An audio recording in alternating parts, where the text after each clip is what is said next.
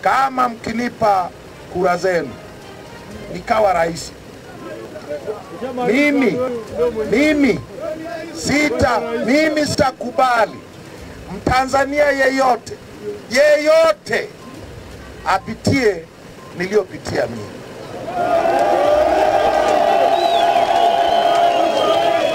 Nanipata hayo niliyoyapitia mie na mlioyapitia nyie yawe ya mwisho, sawa sawa, yawe yawe ya mwisho. Tuwe na serikali itakayolinda watu badala ya kuwinda watu kama wanyama wanyamapori,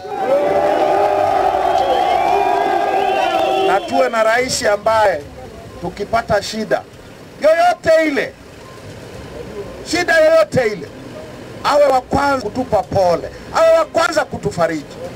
Kazi ya kwanza ya rais ni kufariji wenye shida, sio kuwasimanga, sio kupokea rambirambi zao kuzila.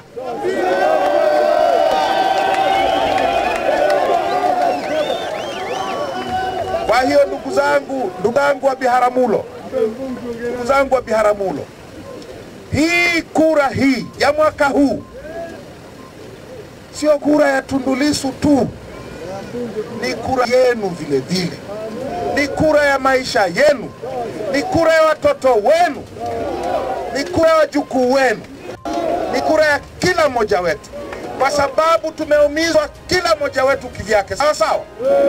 Tukapige kura ya kutukomboa, sawa sawa. Tarehe 28 mwezi wa kumi iwe tarehe mpya, iwe siku mpya ya ukombozi kwa wananchi, sawa, ili tuirekebishe nchi hii. Na Mungu anajua na nyewe mnajua kwamba kuna mambo mengi yanahitaji kurekebishwa nchi hii.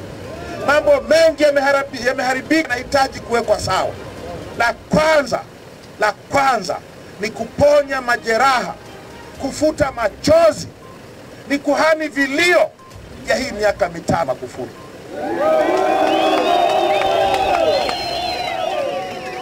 Sasa sasa kazi hii ni ya kwenu, ni ya kwenu, si ya mtu mwingine, na mimi na imani mtaifanya. Sawa?